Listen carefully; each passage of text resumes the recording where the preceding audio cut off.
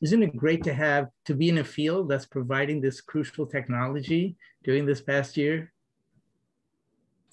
It really is. Yeah. I mean, until uh, like a year ago, whenever I'd mentioned that I'd be, I'm working like on telepresence, people would say, what? Well, you know, sort of like um, Skype, you know, but, you know, better. Imagine, you know, it's like 3D and you're co-located. You'd say, why would I want to do that? And now I don't have to explain why. I think everybody realizes we'd like to be together and boy, and if it weren't for Zoom, I mean, if this were 10 years ago, this would have been a, a much worse experience, I think. Because yeah, 10 years ago, you know, the televideo wasn't as well developed as it was this past year. I think it would have been much more serious. Yeah, absolutely and 20 years ago, you still needed really powerful PCs to do the compression and decompression. And most people didn't have enough bandwidth to their home to support televideo, even if they had powerful enough PCs.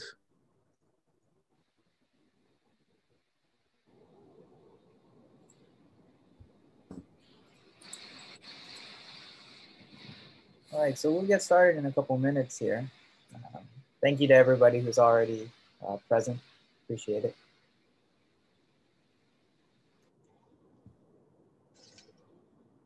You can say how great it is to have an association for computing machinery.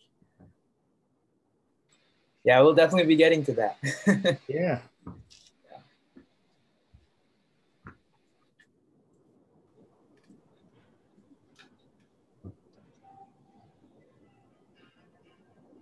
And to have a local club that is associated with this international organization. I think it's a great, great combination.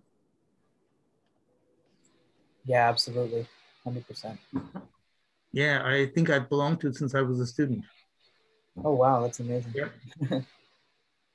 I think it's really great. People ask me, why do you belong? And I feel like I'm part of this community. Mm-hmm and I want to contribute to it financially as well as, you know, with my feed that I go to the conferences. I feel great that I could sign up and say, I'm a member. Yeah, this is worthwhile. Absolutely. Um, so I think we'll go ahead and, and get started now. So let me just share my screen really quickly.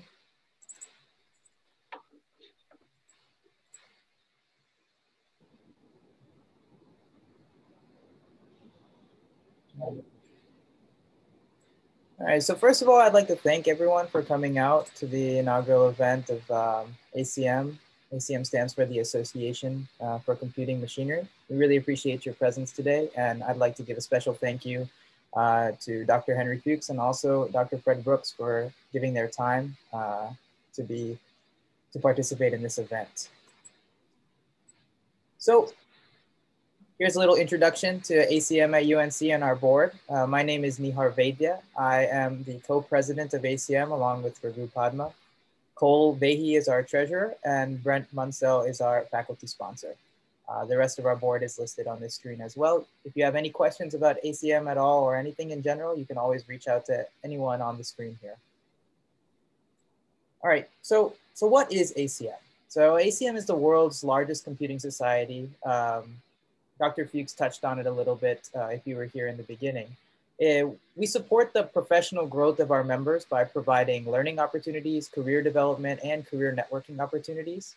Um, there are over 860 professional and student chapters of ACM around the world. ACM is best known for giving out the Turing Award, named after Alan Turing. It's equivalent to the Nobel Prize for the computer science field. ACM was founded in 1947 during a meeting at Columbia University as a result of an increase in interest in computing related meetings and conferences. ACM gives the chance for professors, researchers, students, and others to exchange ideas and hear about the latest and greatest in technology and computer science education. Since its creation, ACM has grown internationally and hosts on average 170 technology related events per year.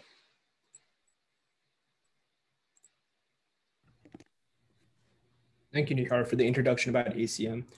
Um, again, we're super excited to have our own chapter uh, of ACM here at UNC. And our main goal is to really spread the influence of computer science throughout UNC's campus and create a strong community here. And we hope to provide students with opportunities which include a greater access to UNC's distinguished computer science faculty and faculty talks, such as this one with Dr. Fuchs and Dr. Brooks, um, social activities, networking opportunities, workshops, educational resources, ACM sponsored conferences, and more. And hopefully when we're in person next fall, we can have all of these things. Um, Nihar, can you go to the next slide? Thank you. Also, we are we are also proud to say that UNC's faculty consists of four ACM fellows. One of the ACM fellows is Dr. Fred Brooks, who also won the ACM Turing Award and multiple other awards throughout his career. And we will be watching an interview with him answering student asked questions in a bit. Another ACM fellow at UNC is of course Dr. Henry Fuchs, who we have with here uh, with us here today. Um, and Dr. Uh, Fuchs won an ACM SIGGRAPH Achievement Award in 1992 and is a pioneer in computer graphics. He was talking a, lot, a little bit about that if you joined uh, early. And all of you guys will have a chance to ask Dr. Fuchs any questions when we talk to him, I think at maybe five o'clock. So I'm super excited to see what you guys have to ask and see what Dr. Fuchs has to say. Our third ACM fellow at UNC is Dr. James Anderson, who is known for his contributions in real-time systems, distributed and concur con concurrent algorithms, multi-core computing, and operating systems. Finally, our last ACM fellow at UNC is Dr. Dinesh Manocha, who is known for his work in computer graphics, augmented and virtual reality, robotics, and more. And again, we're super glad to have two of those fellows be able to talk to us today.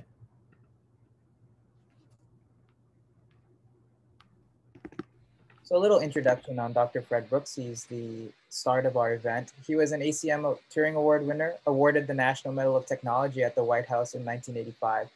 He also managed the development of IBM's revolutionary 360 family of computers, was integral in deciding upon how many bits are in a byte. There's a little bit of that in the interview with him.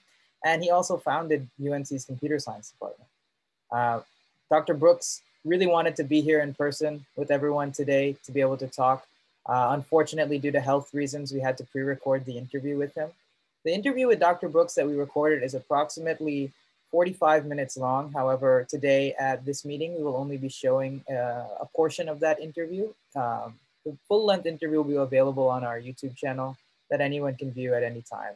Um, so we'll get started by watching that interview right now. And then after, after watching the interview with Dr. Brooks, we will get into our conversation with Dr. Fuchs. So let me just.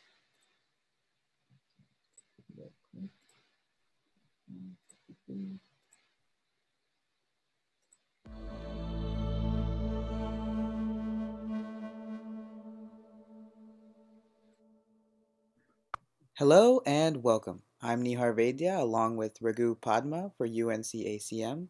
Joining us today is Dr. Fred Brooks, an American computer architect, software engineer, and computer scientist, best known for managing the development of IBM's System 360 family of computers and the OS 360 software support package, then later writing about the process in his book, The Mythical Man Month. Dr. Brooks has received many awards, including the National Medal of Technology in 1985 and the Turing Award in 1999. Dr. Brooks, thank you so much for being with us here today. Glad to be there. Thank you. Dr. Brooks, we'll get started with our first question. You're renowned for many amazing achievements and your impacts on the field of computer science. However, if there was one non-technical thing that you could be known for, what would you want that to be?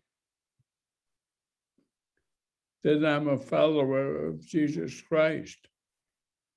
And I became one when I was 31.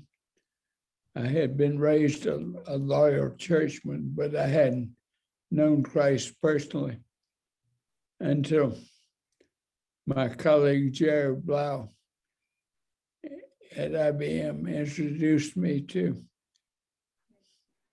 what it really means to be a Christian. So that's the non-technical thing that's most important in my life. As I said, I was raised a nominal Christian, but my undergraduate education included a year of Old Testament and New Testament taught by a professor and an ordained minister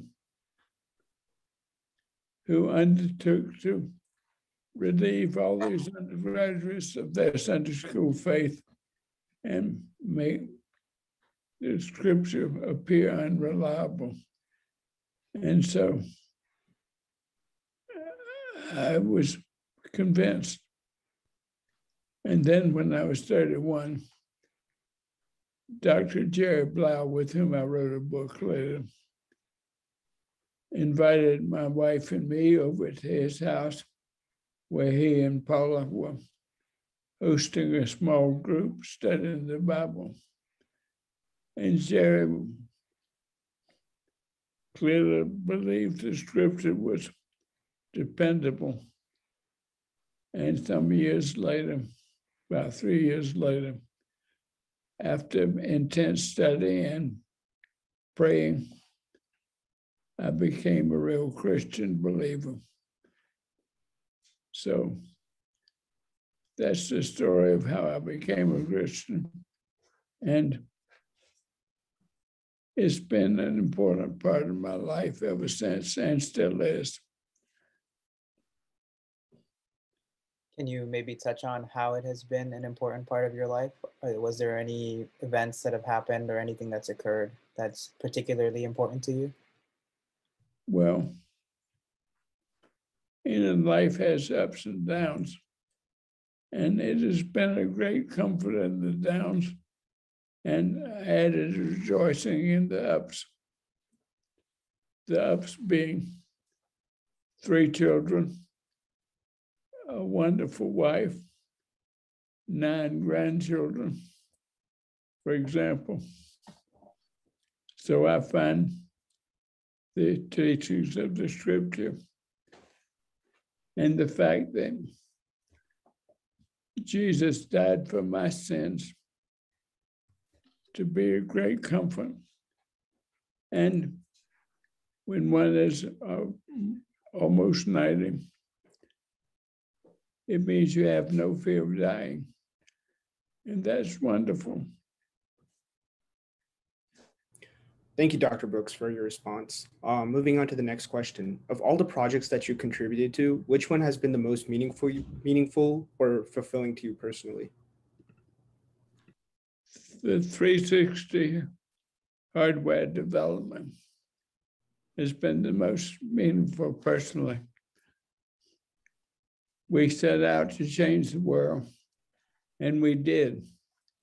Among the changes, we changed the whole industry from six bit bytes with only uppercase characters and numbers to eight bit bytes, including lowercase characters, which made word processing possible. And that was adopted by the rest of the IBM product line and then by the rest of the industry. And so that's been very meaningful to me. That was the big, biggest internal debate that I've ever been a part of, was whether to do that. And it cost us an extra $100 million, 1960s dollars, to change all the input out devices, all new printers, all new tape drives, all new discs, even the card punches had to be changed to accommodate eight bits. Were there any challenges that you faced in that project that are that particularly stand out to you? Yes. There was a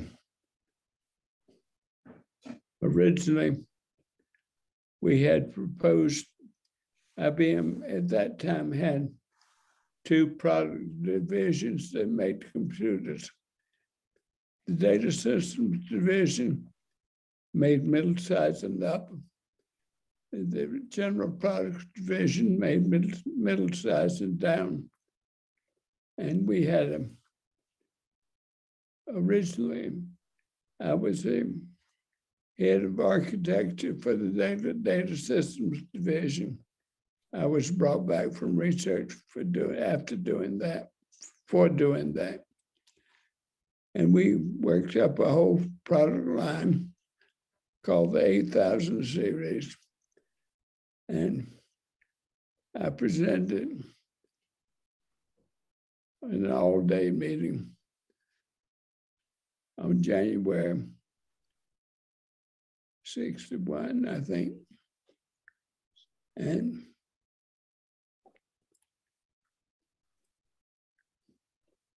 everybody was carried away with it. We had to carry it through first level forecasting, first level cost estimating, first level market assessment, the whole business.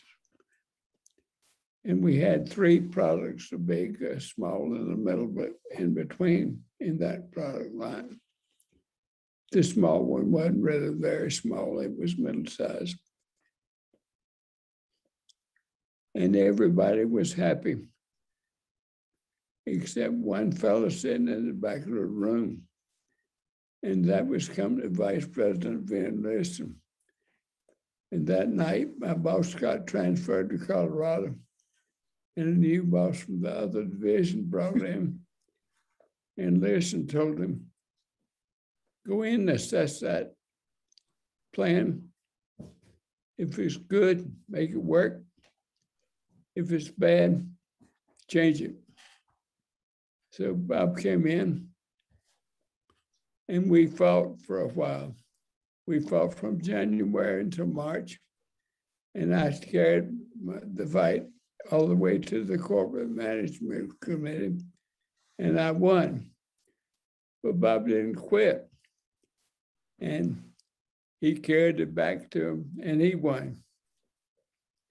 And then we fought like cats and dogs from January to March.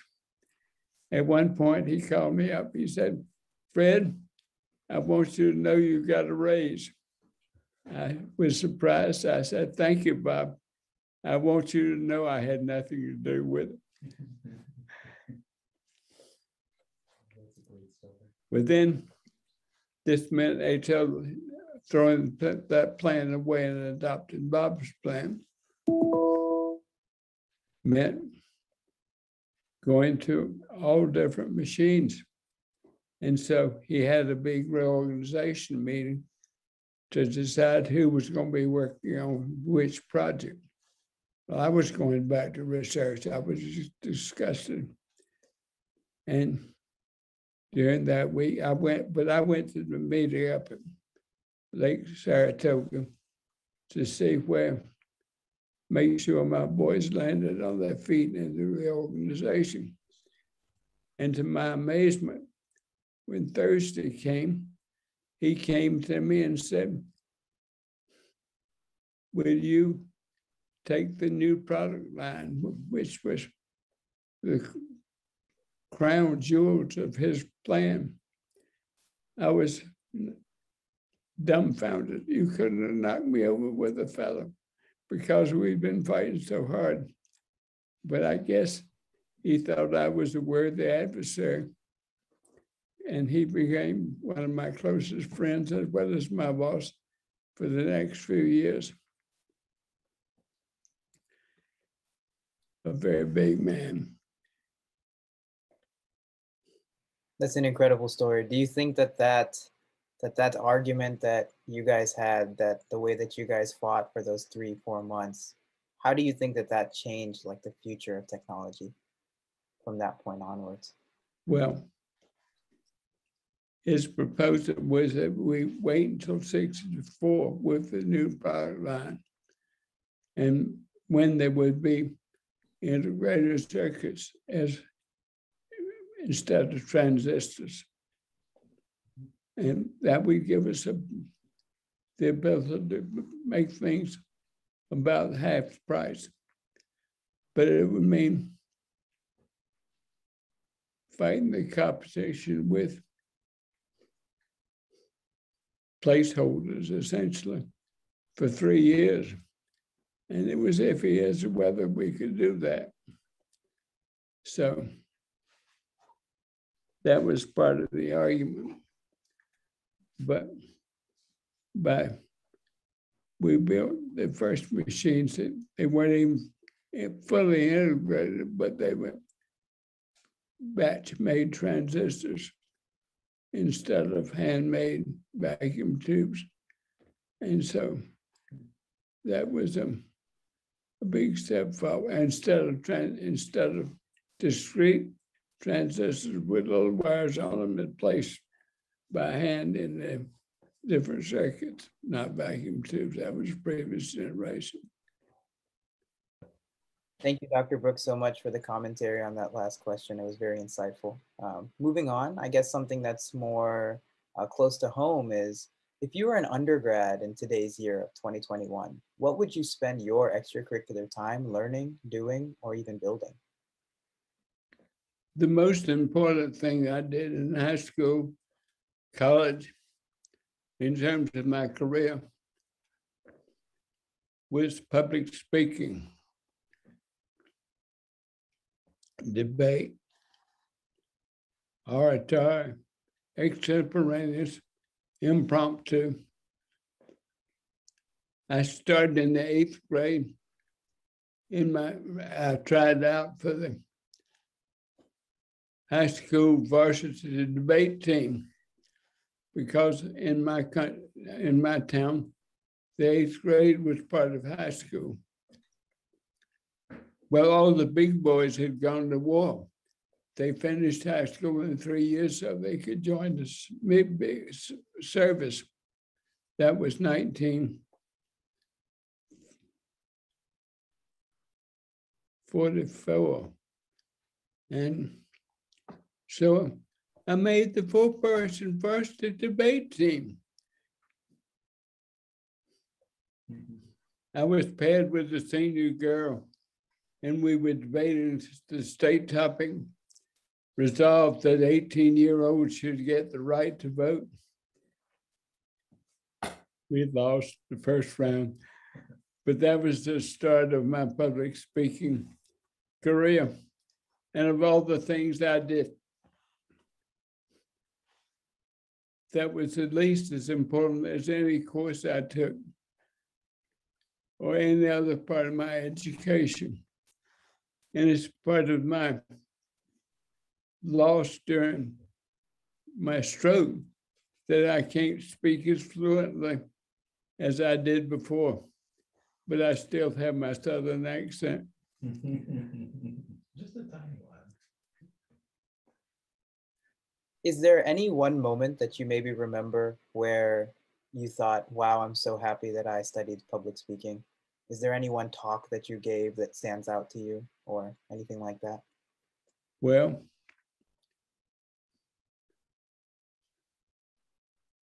I gave three addresses about the 360 family to the team that had developed it. And at that time, I thought I was leaving to come to Chapel Hill then. In fact, Tom Watson asked me to stay and see the software and alpha test. And so I stayed another year. But those were essentially farewell addresses. And that was an important occasion why do you think, uh, given that all you've said about public speaking, that public speaking is such an important thing for college students to learn? If you're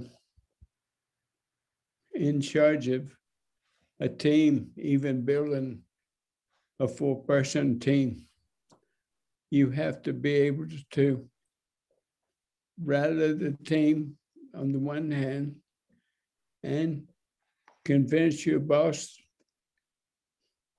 and on up that it's worth doing and explain why you're late and so forth.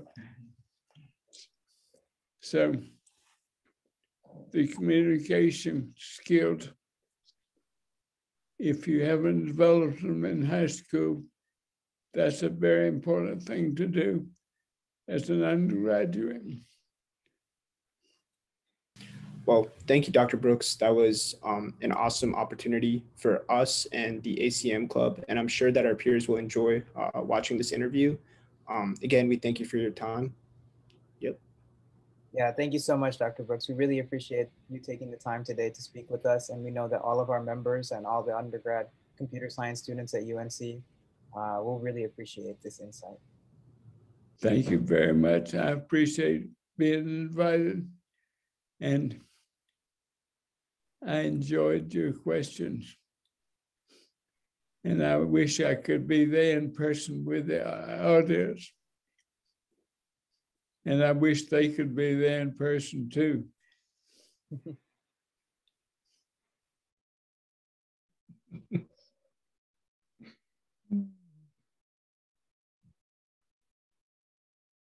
So that was a little preview of our interview that we had with Fred Brooks. I want to thank everyone that submitted questions for him. Um, there were more questions that he answered involving his acceptance of both the Turing Award and the National Medal of Technology. There's commentary on where he sees technology going in the future, his thoughts on ethics within technology, and also around AR and VR. So make sure to go watch that full length video if you get the time. It's very insightful and there's a lot of things that we had to cut for the sake of time uh, so that we could uh, show it here today. So let's go back to our slides. So now, um, first off, we have, all right, Raghu, do you want to? Yeah, I hope you guys all enjoyed that video. Dr. Brooks is a truly awesome guy. Um, but again, just as a recap, we had an opportunity for students to submit questions for Dr. Brooks a couple weeks ago and uh, we wanted to just shout those students out whose questions got selected to be answered. Um, not all of their questions appeared in the short version, of course. Some of theirs are in the longer version, but the names of those students whose questions got chosen are Lindsay Zhao, Ellie Evans, Cole Vehi, Saket Devareddy, Robbie Tillman, Madison Humer.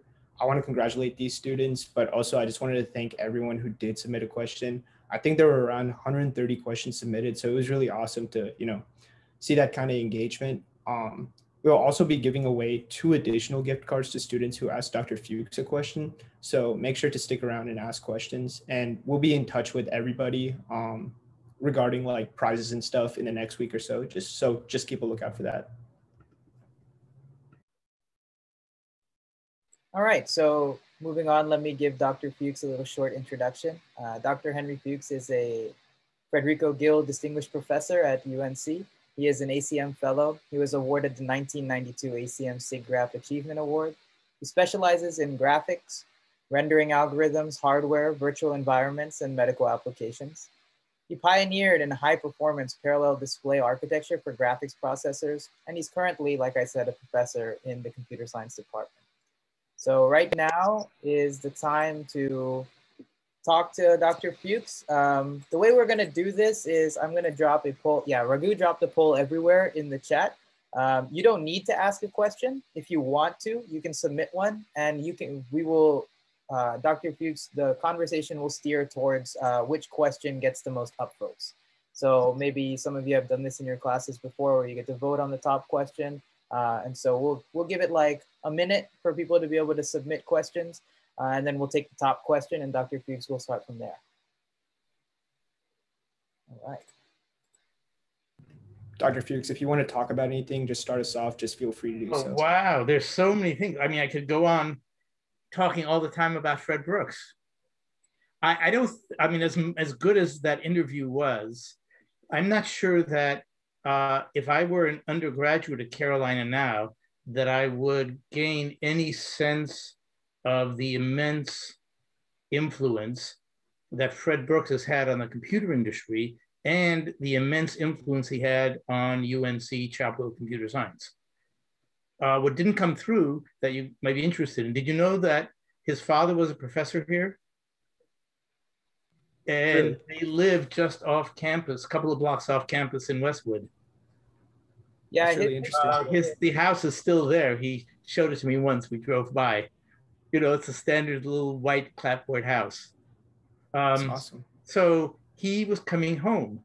He was, the reason he came home, uh, so he tells me, is while he was developing, you know, he was head of this, the Project 360, to give you some idea, was the biggest computer development in history. Uh, I read a paper about it later in one of the business magazines, Fortune, and the title was IBM's $5 billion gamble. the size of that project was roughly the size of the Manhattan Project in World War II in terms of the amount of money. I mean, it was about the size of the project of building the atomic bomb.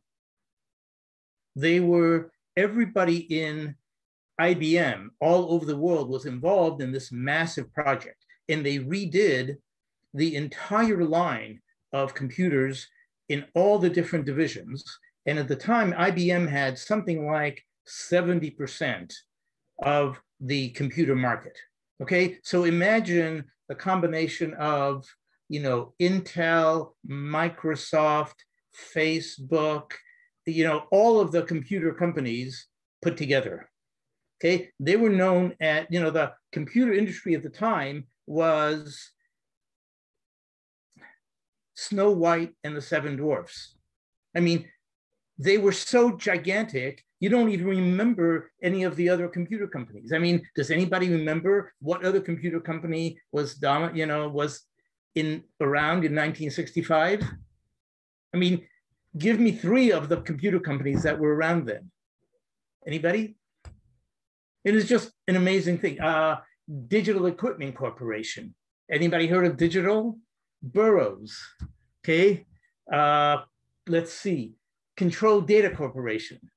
I mean, all of these, you know, they're like history. IBM is still around, but it was so dominant and it became dominant even more so after 360 was introduced because it not only allowed these new capabilities of uppercase, lowercase everywhere, you know, down to the bit representation, it meant that there was an, a, a single level architecture from the lowest machine to the biggest supercomputer. That means that from a programmer standpoint and from a compiler standpoint, they compile to the same machine. So those of you who are taking my 311 know some more about this. But it was just an amazing, audacious uh, risk. They bet the company on this. And the guy that headed the architecture project, and then eventually he headed the whole thing, the software also, because the software was late. Okay. This guy, Fred Brooks. So he was born in 1931. So he was heading this project in 1963, you know, 1962, three and four. He was telling you about, you know, all these fights to get it established in 1961. You guys understand? The guy was 30 years old. Okay when he talks about Watson trying to persuade him to stay in the company, that was T.J. Watson Jr., the you know the CEO of IBM, and he said no. Okay, why did he say no? Because he wanted to come back to his hometown, and I'm really moved by that. Okay, this guy that could have earned many, many more millions of dollars than he did here, he decided to come back here to start a computer science department. And we are all the beneficiaries of that. Okay. I mean, his stature at the time was just amazing. I was, I happened to interview here in 1978. I already had a job at UT Dallas. I was happy there. I had colleagues, I had friends. And then through some people making some calls, I could go into later, I happened to drop my CV to this one place. This is the only place. And they called up and I thought, why not? You know, I had heard about Brooks, you know, through reputation. I came and he really impressed me. Okay. I mean, to give you one data point, um, I see him like the first day. No, I give a talk, you know, and then we go out to dinner. Okay. The next day, I'm about to leave because I see a bunch of other people, you know, in the department. I'm about to leave, and I have an appointment to, you know, say goodbye to him. I walk into his office, and he is looking through, you know, a paper like this. Can you see me?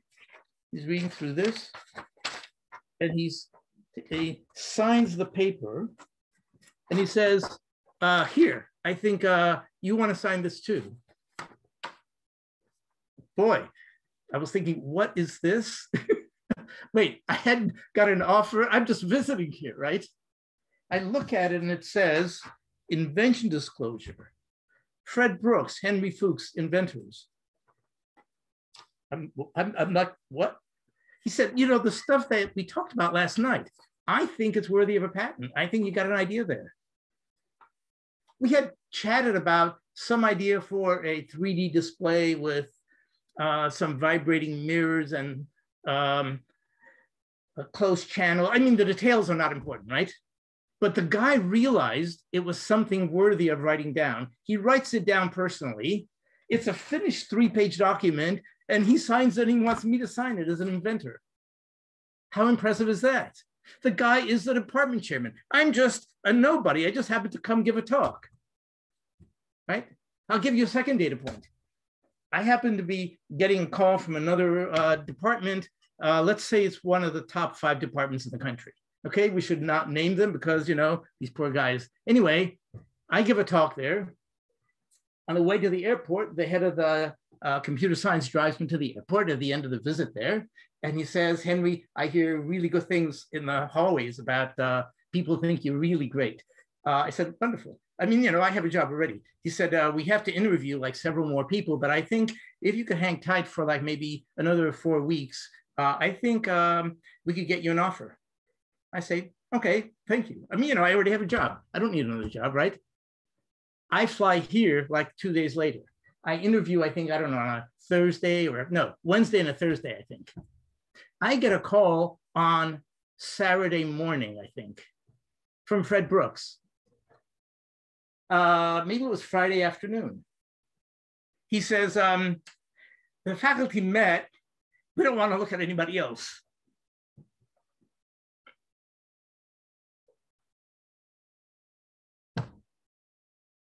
Uh, if you could hold on to Monday, I'm to go see the dean, see if we can get you an offer on Monday. wow, I think what a guy. I call up one of my old professors. It's really good to keep in touch with old professors. What do I do, Rich? I say, you know, it's really this uh, uh, interesting dilemma. Do you go to this really famous place, you know, wait for another four weeks, or do I grab this thing which they're just offering me instantly?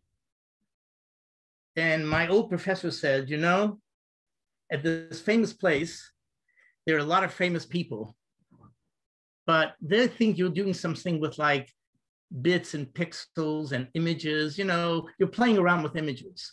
When it comes to evaluating you, they're probably going to have to send out uh, for letters to see, you know, how good people think you are. If you go to Chapel Hill, Fred Brooks won't need to rely on the letters. He'll know how good you are. So I called back Brooks. I said, I'm coming. That's what I thought of Brooks. You know, the first couple of meetings. Does that get you started?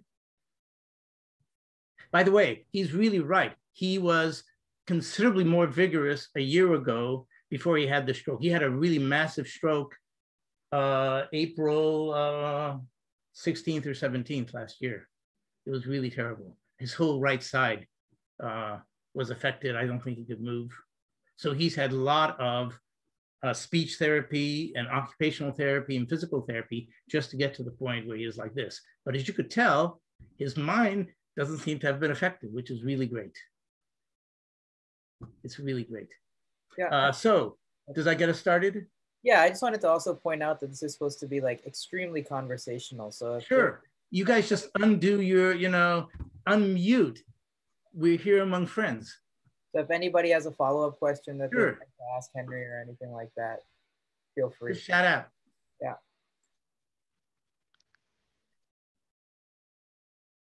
It's uh, wow. I haven't we haven't seen each other in a few years. It's been a while, hasn't it? How are you? I'm doing really well, thank you. Great. Yeah. Um, it's really good to be here. I'm I was really happy to to listen to everything you said because um, I think you made a really good point that you know Brooks is kind of a very towering figure, and and there's so much about him that a lot of us don't really know. And that that interview is a wonderful start, but I think hearing your stories, it's like wow, there's there's a huge history to the CS department um, that you know that's so exciting to hear about and learn. Well, I'm glad. I mean, I could tell you a lot more. I mean, when when he started the department, he knew because you know his father was professor here. He knew that this is a uh, broadly based university. You know, it's not an institute of technology. Uh, it's going to be uh, a, only a medium-sized department, and it's going to reach out to the rest of the department. It's not going to be just for you know technical people. And so he carefully decided on what uh, four areas that they're going to concentrate on to start with. And each of those, you know, had to do with things that he thought were going to have legs, you know, for a long time. I mean, I still remember the four that they advertised when I looked at their ad. That's what got me to drop a line here. Uh, let's see if I can remember them. Uh, software engineering, computer architecture, uh, computer graphics, medical imaging. And hey, I thought these are things I'm interested in. Should I tell you about VR? Yes, please. Okay, so you know, he somebody asked, you know, what is the most important course that you know you took you know, as an undergraduate? I, I mean, I think that I agree with him. Basically, communication is really the most important thing. But one of the things that I remember is uh, I took an independent study with Alan Kay at Stanford, and he showed me a paper among the many things he showed me, may he be blessed, was a paper then new. This was, I took the, I was with him in 1969 as an undergraduate, and it was a paper in 1968 published by a guy named Ivan Sutherland, and the title was A Head Mounted Three Dimensional Display. And what he talked about was, and he showed a system demonstrated that there were a couple of little displays, one inch CRTs, that you put on your head and with a half silvered mirror and a sort of close up lens, you could see the displays, you know, in front of you in stereo, and you also see the room in front of you.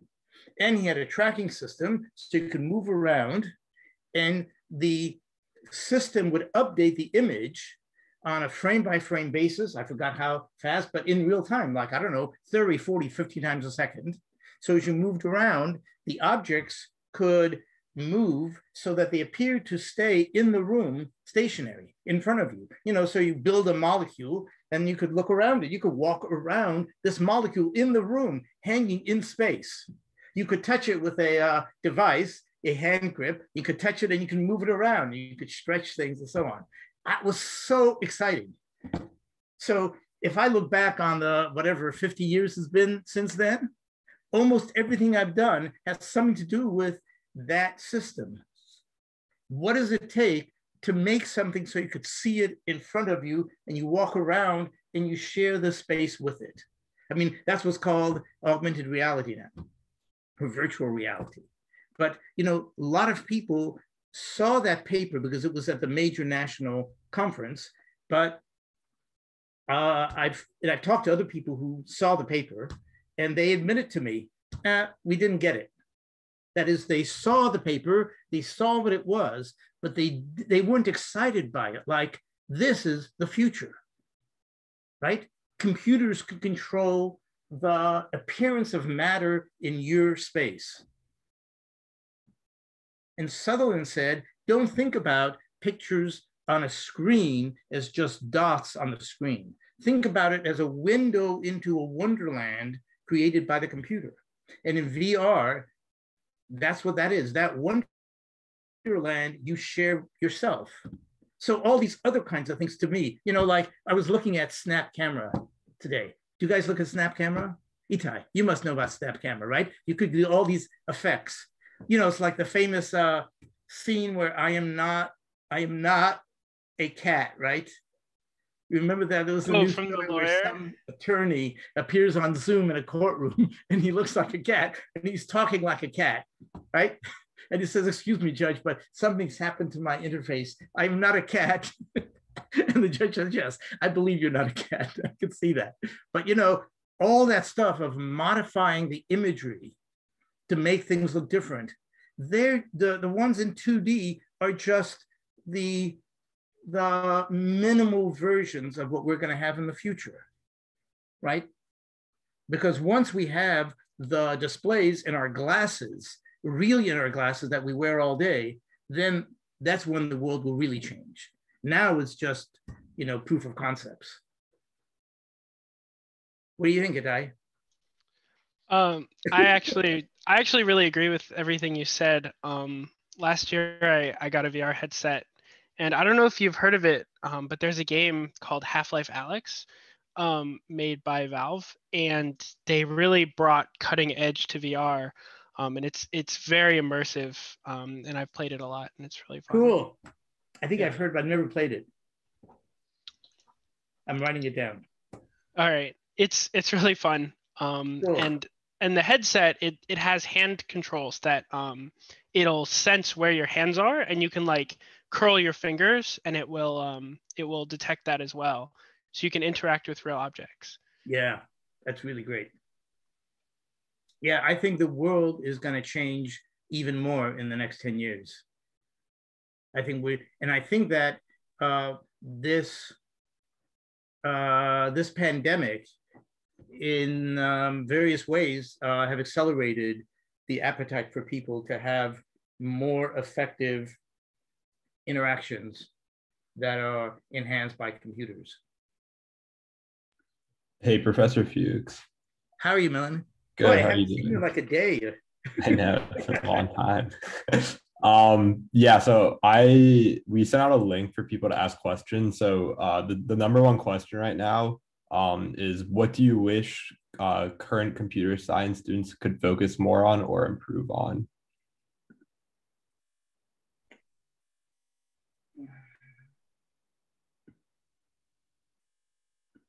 Wow. That's not such an easy question. I think current computer science students are fabulous. I mean, to a first approximation, computer science students are fabulous. Okay. Um, I mean, I could tell you what I think that from a computer science curriculum, what I think we could do better as a department. But then I could tell you what I would recommend you as an individual computer science student. Okay. So first I'll answer the one about how is the department. Uh, I wish that we as a department could have a more comprehensive, integrated, richer curriculum because we're so, as you well know, as you all well know, we're so limited by the relatively few faculty that we have that there's relatively few courses. We can only teach like the most absolute uh, minimum necessary courses. But if I had my druthers, we would teach from the first year, we would teach an integrated sequence that, in my view, would start with the base case of, you know, uh, Boolean logic and build up to, you know about some of this, and build up to chips. And then build a little computer from the chips and then buy, you know, a microprocessor chip and build a one board computer. And then build from that one board computer, you know, what do you need to do in order to write an assembler? And then, you know, build a compiler on top of that. But everybody building all of that stuff because it's one thing to use an assembler, it's another thing to build an assembler or to build a compiler.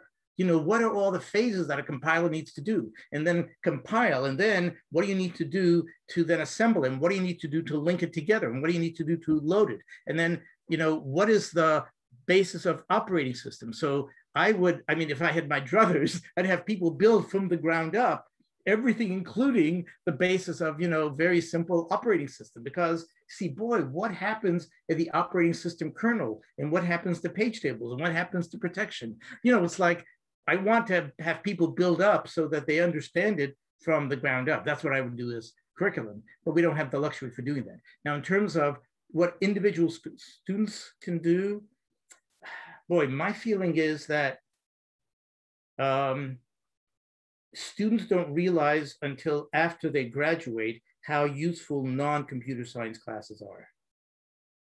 Because I think many people who are taking computer science now will have opportunities to learn more technical things later. Whether you get a job now and you're doing, uh, you know, part-time, you take class later. You know, you could go to your boss and say, I'm really interested in taking this, you know, online course on whatever it is, you know, computer security or data protection, you know, or, you know, the latest in operating systems or whatever it is, right? Because your boss will understand, you know, yeah, I guess for this job, it's really useful for you to know more about Bitcoin or whatever it is. But what you don't get a chance after an undergraduate year or the four years of undergraduates is to do any other courses. You know, if you are interested in social psychology, or if you're interested in archaeology or in you know political 19th century political theory or 20th century European politics or whatever it is, you can't go to your boss or even if you go to grad school, you go into your advisor and say, you know what, I'm really interested in modern political theory. I think I want to take a course in modern political theory. What is your PhD advisor going to say? You wait till after you uh, submit your dissertation, right? But in undergraduate, especially a place like Carolina, they encourage you, they require you to take these courses. So my recommendation is take that as a golden opportunity to look for the things that are really exciting for you. You know, the technical subjects you'll be able to do later. I mean, you'll, you'll still do them now because they're required, but it's the non-computer science subjects that I think you want to get excited about and take those. And don't take the easiest ones, take the ones that are most exciting. And by the way, my recommendation, in case you haven't heard, I think the person who teaches that subject is more important than the subject. My daughter called up when she was a freshman at a different college, and she's so excited about astronomy. Who knew, right? Well, I got to know because the next Parents' Day, I heard her astronomy professor talk. And you know what? This person was so inspiring. It's like I wanted to take another astronomy course. So I think that having a really effective, exciting teacher is more important than a specific topic. Next. That's super interesting. Um, I think like kind of relating to that, um, the next question is like, what career do you think you would have pursued if you did not go into computer science? Architecture until I was in ninth grade, I thought architecture is what I wanted to do because I thought the combination of technical things and practical and making lives better and artistic, I think is is all embodied for you in architecture. I think that is so nice. And while I've dealt with architects occasionally, you know, in applications when we do like 3D modeling and so on, uh, what turned me off was uh, taking architectural drafting in like ninth grade. And, you know, this is follow up on this question about, you know, teachers make a difference. Because in my high school, you needed to take at least one course in drafting or something, you know, so you knew how to draw basic things. This was, you know, drafting with pencils and T squares and uh, doing lettering and how to do uh, isometric uh, you know, representation and drawings. And so I was really raring to go for architectural drafting. And the teacher had us do floor joists and subflooring. That wasn't what I was interested in. I wanted to think about the whole building and flow and how people would move around. And we did none of that. So, and I happened to be in a summer or Christmas program for high school like science and math. And we visited a junior college and we saw a computer there. And that was it. I saw a computer. I thought, wow, this is like you bring your thoughts and you put them into the machine and it brings your thoughts to life. You say, I want to draw this curve that's defined in this mathematical way. You put it in and it draws you that curve you know, or you want the robot to move in this way. You program it and it moves in that way. I thought that was just magic. But architecture, I still think is great. And I occasionally collaborate with architects. The uh, next question that a lot of people have, and then Ryan, we can go to you, is um, what advice do you have for undergraduates who are deciding if they should go to grad school or not?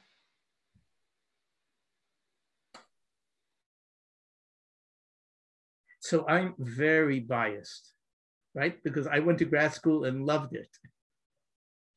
So uh, my recommendation is if if you could stand another couple of years of classes and you could afford not to earn the big money, uh, then I think you should go to grad school.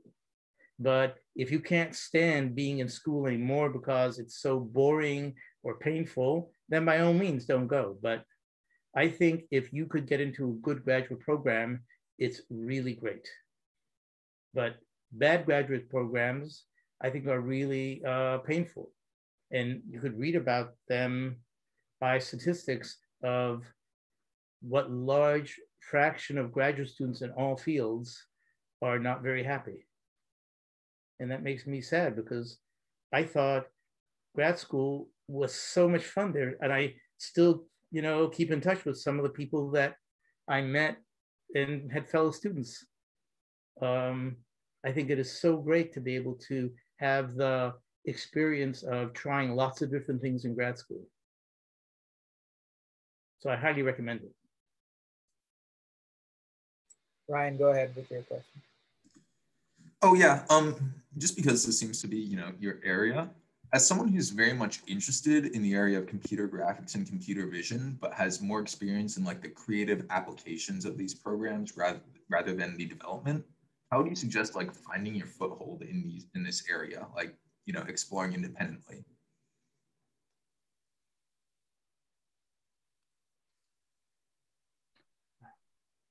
I think that the best way is to look around and see where there's a professor two whose work you're excited about. And from what you could find out, the professor is a reasonable, nice person. That combination of having a really nice person and having an area of work that you're excited about is, I think, what you want. Because then if you get into that person's uh, area, you will find all kinds of things that you were initially excited about, but you may not have known about until you got there.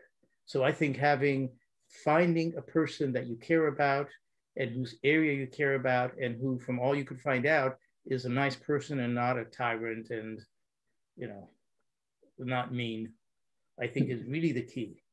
And i just consider myself very lucky that i was able to find several of those people both as an undergraduate and as a graduate student. I think i was lucky because there was no uh, acm student chapter when i was an undergraduate at santa cruz. I think there were four of us who graduated in computer science in 1970. There were no computer science professors when I got to Santa Cruz in 66. There was no computer science professors. And several of us told our advisors that we'd really like to learn to like learn something about computers. And so somehow somebody in the university found somebody who offered a uh, course I could just, I still remember the course. We all showed up in class. They were like 30 of us. And this person in front, he had a stack of green pamphlets. They were, you know, stapled together. They were not books, they were like pamphlets. Um, they were, you know, sort of like this. Okay. Hmm. Except they were stapled. Okay. And he passed them out. They were green. And they were something like titled, uh, IBM logo on it, and it has something like a self-study introduction to Fortran. And he said, um, just so you know, I'm not an instructor. I'm, I think he was a salesperson, okay? Uh, but these are self-study. So I think you'll be able to find with these. And during the hours, you know, that we meet here, I'll always be here and I'll be at the desk here. And in case any of you have any questions, come up to me and I'll do my best to try to explain them. So there were self-study and I still remember there was like one or two pages of description, you know, this is uh, a program is a series of statements where a statement is a command. And here are the examples of them. And then after the you know two pages of text, then there were some questions, you know, self-assessments, multiple choice. They were like six of them, and then you choose one, and then you write it down on a separate piece of paper, and then you look in the back to see if you've got which one you got correct. And depending on how many you got correct, you know, you go to another page. You know, if you've got them all correct, then you go on to the next. If not, then you went to another page where they describe that particular thing in more detail. So that was what we had in the spring of my freshman year. But to my great good fortune, the university hired not one, but two computer science professors when I was in my sophomore year. And we had, again, a room full of students signing up for Introduction to Computer Science. And in the one of the professors uh, asked as he was being to talk, he said, um, how many of you know how to program? I remember looking around, there were a few that I recognized from, you know, the previous self-study class.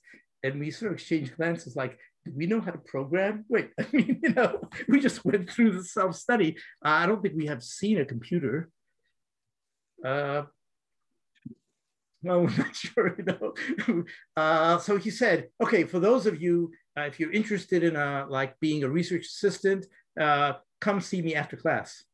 And so like a couple of us went to him after class and he talked to us and he hired two of us on the spot, even though I'd never seen a computer. So I was really lucky. It turns out the guy's name was Harry Huskey. I only learned this later because what do I know? You know, he's a professor there, right? He took early retirement from Berkeley. And I learned years later because he was telling me about stories about programming the ENIAC. Wait, what? it turns out he was a math instructor at University of Pennsylvania circa 1945 when the first American computer was being constructed at, at the University of Pennsylvania. And he got interested in programming it. But then he was he wanted to transfer from math department to electrical engineering or wherever this group was. And his department chairman, he says, uh, was not very happy at the idea of losing a mathematician to these, you know, tinkers.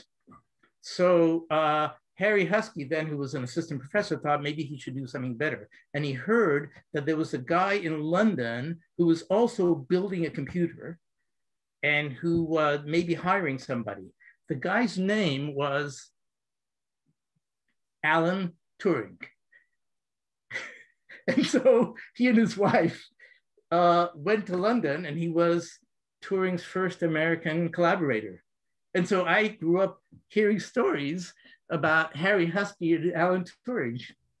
I mean, it is a great world.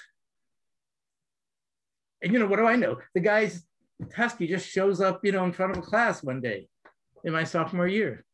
And then I got to work with him. He was great. That's really cool. Um, yeah. One question I had was, so what what are your thoughts on this whole UNC CompSci requiring admission and then them taking it away and then that this whole thing that's been happening? I have a lot of thoughts. All right. So, in fact, I happened to meet on another topic with um, the senior associate dean this morning, uh, Jaye Cable. We were talking about something else, but at the end of the meeting, I happened to mention this topic because I feel so strongly about it. Uh, uh, so, in a nutshell, the department faculty is drowning. We have gone in the last, whatever, 12 or 13 years from having 140 majors to having 1,800 majors and no increase basically in faculty. To give you an idea of how unreasonable this is, I was talking to somebody yesterday who's a high school senior who wanted my advice about which college he should go to. And you know, we've talked a couple of times. Uh, you know, I'm happy to talk to a bright undergraduate, I mean, undergraduate, high school seniors on which college they should go to. He got into UNC, he got into NC State, he got into a bunch of other places. Uh, one of the places he's considering is Carnegie Mellon. Okay, Carnegie Mellon, you can look this up. How many computer science professors do they have at Carnegie Mellon? I don't know, 90 or whatever. I mean, some number like somebody look it up and tell me. Okay. How many computer science majors do they have at Carnegie Mellon? According to the student, they uh, admit 200 a year, so 800 total. Okay, so now somebody look it up and tell me how many computers, what's the size of computer science faculty at Carnegie Mellon? I think it was like 90 or something. Okay, but they have dramatically bigger, like three times the size of the department, right? And the number of majors they have is like 800 compared to 1800. So it's like less than half of the number of majors, and they have like three times the size of the faculty. Okay, Neha, do, do, do you think people get that? Yeah, I think I, am trying okay. to look up right now. yeah, but I mean, it's a tremendous size difference. Okay, yeah. so then the question is, what should we do? And not just you know every so many years, universities and the university associations mandate that they be an outside evaluation committee on each department because you know accrediting agency wants to know how is your you know German literature department or whatever. So, you know, there has to be an external committee evaluation. So the same thing happens in computer science. There's an external committee evaluation, I think, every eight years. Okay. The last one that we had, no, not just the last one that we had, the one that we had like not five years ago, but whatever it was, 13 years ago, they said, what you have is pretty good, but you know what? You guys need to grow to at least 40 Otherwise, you're going to just sink.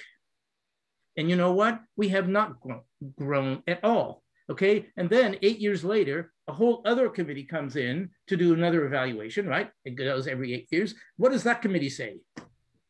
Exactly the same thing. Unless you guys grow to 40, you're just going to sink. Now, so what should we do when we don't grow anywhere to 40? I don't know, we're at 30 or something. So what should we do? I mean, I think it is a disgrace. Okay, I think it is just terrible. It's not just that we want to limit, that we have to limit the number of students that can major in computer science. I think we should actively, we, meaning the whole computer science community, including you guys, right?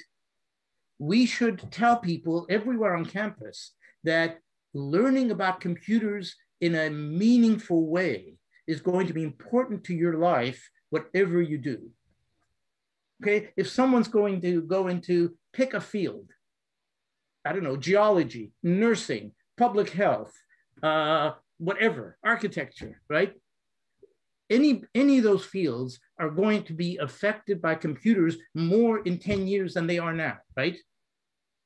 Now, that means that anybody who is, say, a nurse or a geologist or a public health professional, they're going to need to know more about computers 10 years from now than they do now, right? Especially if they're going to be in a position to make some decisions.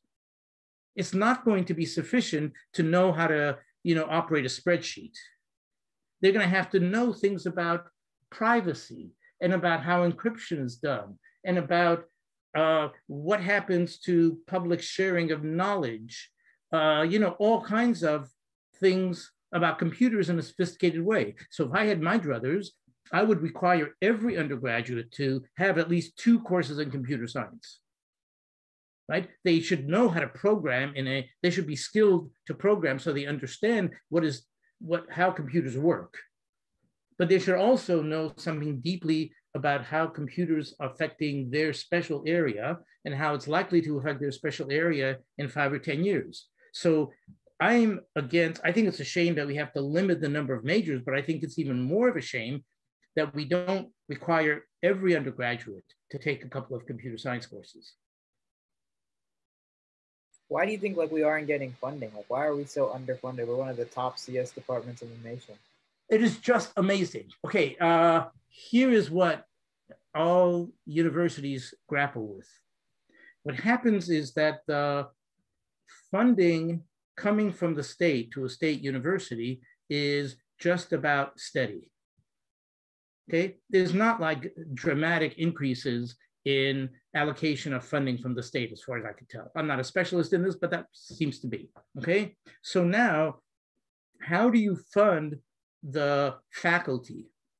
Well, in a campus where there is a whole range of fields and a whole range of faculty seniorities, even if the head of the entire campus wants to make significant changes, they're limited because they can't just willy-nilly fire people, right? You can't just say to a professor whose specialty uh, is not being sought by you know, 100 or 200 or 500 students. Uh, I'm sorry, sir or ma'am, you know, uh, your classes only get like 15 people, and so we can't afford to keep you anymore, right? So then the only way that you could really hire new people is when uh, some people resign or retire. And that in a university doesn't happen that much. And so a university, especially a state university, is very limited in what they could do. And also the in a department like uh, computer science, the total amount of money that goes through the department is mostly not from the state, but from various grants. Uh, I haven't looked recently, but last time I looked, something like 70% of the money that flows through computer science comes from various research and gifts. And those are targeted for specific things. It's like, you know, the somebody responds to a proposal, whether it's NSF or Intel or Google, you know, somebody has sent them a proposal. We want to work on, you know, computer generated holography. And, you know, Facebook, whoever says, oh, this is cool, you know, we'll give you this pile of money and you guys could work, go work on this, right? We can't just take that money and say, oh, what we really like to do is offer another section of computer organization. They say, wait, wait, wait, that's not what we gave you the money for, right? And so you have a very limited pool of money for teaching. And that comes from the state, and that basically hasn't increased. Now, in a private university, there is more flexibility, and a lot of private universities make money on things like um, master's programs and even undergraduate programs in which the tuition that the undergraduates pay go more directly to the departments whose courses they are taking. And there is movements afoot to have that happen more like that at Carolina, but at right now, as far as I can tell, that doesn't happen. So the amount of all this increase in students taking computer science classes hasn't translated into more funding for the department. So what do you think we should do then? if we're running out of money and the department is getting overwhelmed, what's the solution?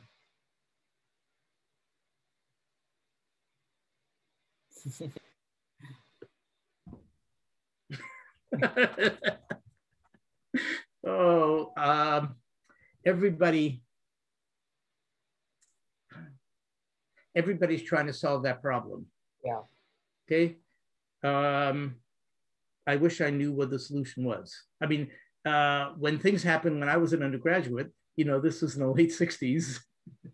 I mean, we protested, but protesting doesn't seem to be the style these days. Um, just to, um, I'm sorry, I wish I had, I wish I had a solution.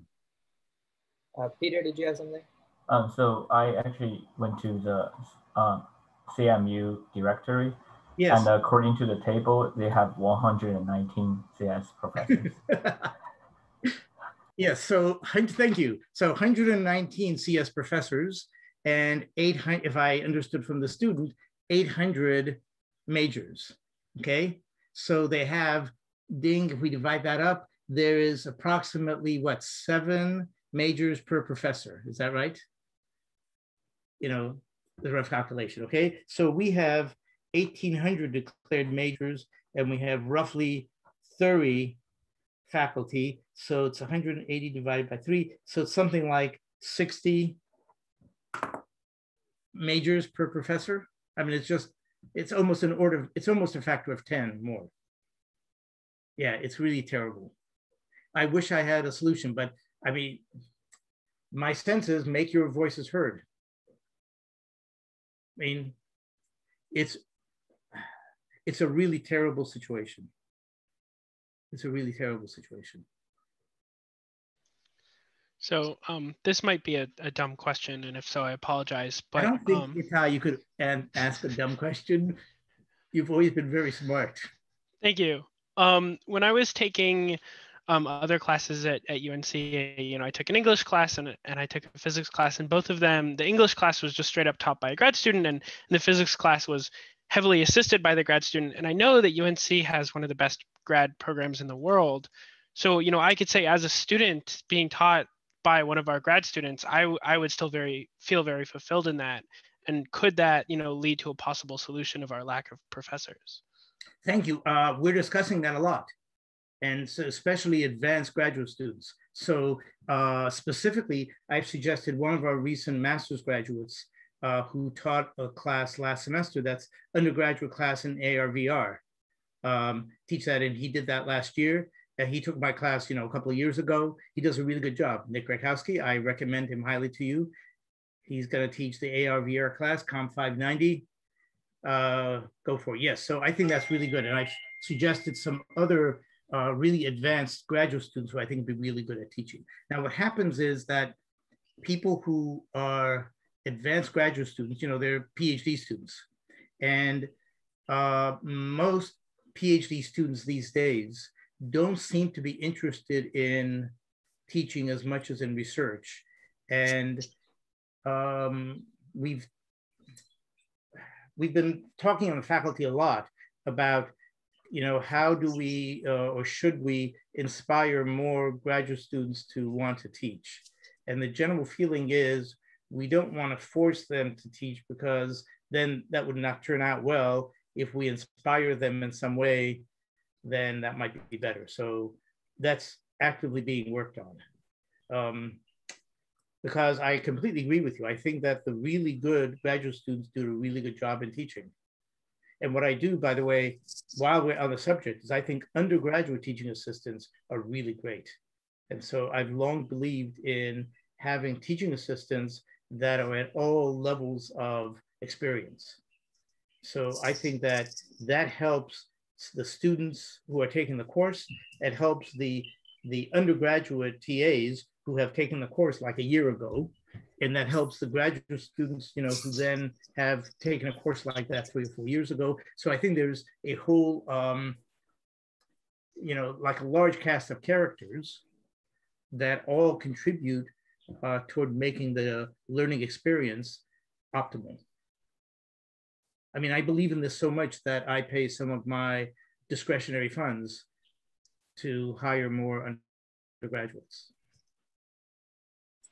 I think we have time for. Some of you know that, right? Uh, Millen knows that. Rohitha knows that. Uh, yeah. Michael, do you have a question?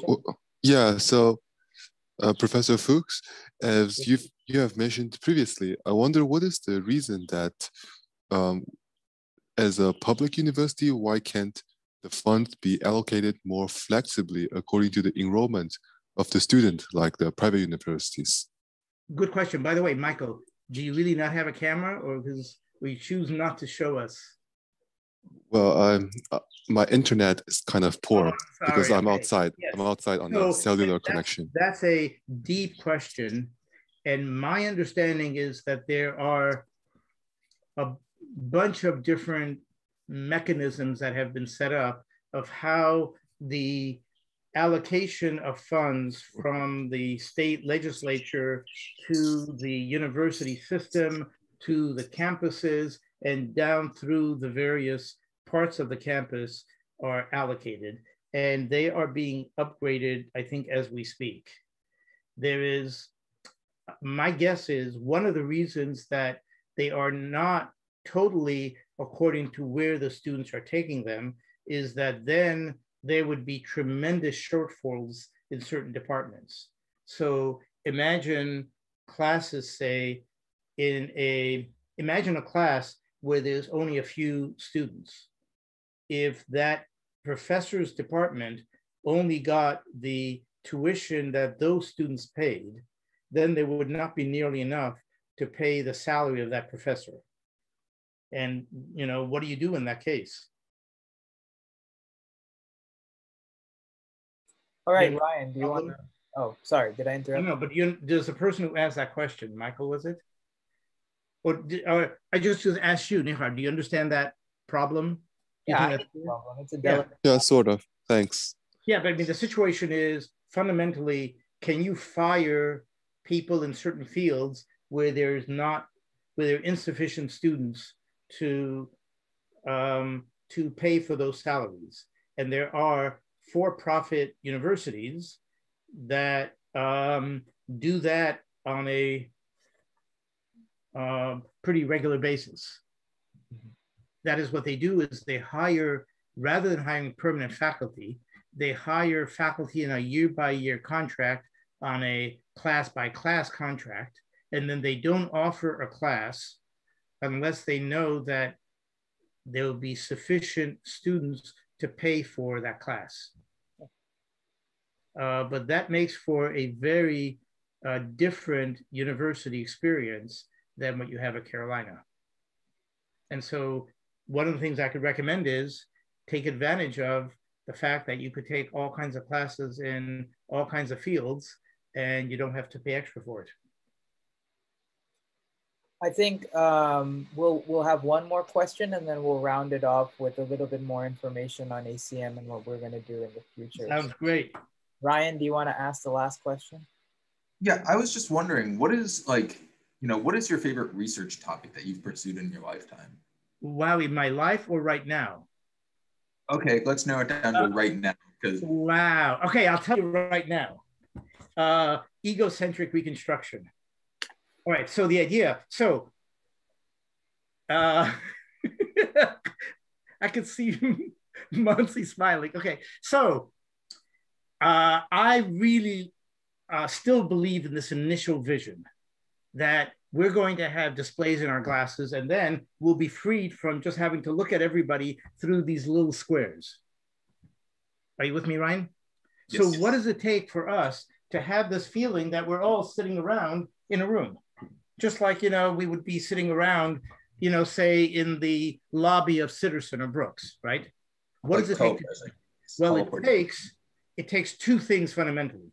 It takes some way of capturing the 3D environment and 3D us, right? You know, you're holding your hand and what shirt you're wearing and the way you're smiling, you know, that that communicates to me, right? And the way I am, and then maybe the environment, you know. So if we if I want to show you, you know, this booklet, that it also picks up the booklet, right? And mm-hmm. then we need some way of displaying it, right? So you need capture, reconstruction, and display, right? So the display, we're working on all of those the display basically needs to be wide field of view and in a compact form factor that's like our eyeglasses that we're going to basically wear all day because we're not going to wear closed, you know, like as much as I like my Quest, I'm not going to wear it all day because I don't want to be taken away from my nice environment here. And even the open augmented reality displays like HoloLens are, too bulky. I'm not going to wear that all day. You know, you couldn't pay me enough, right?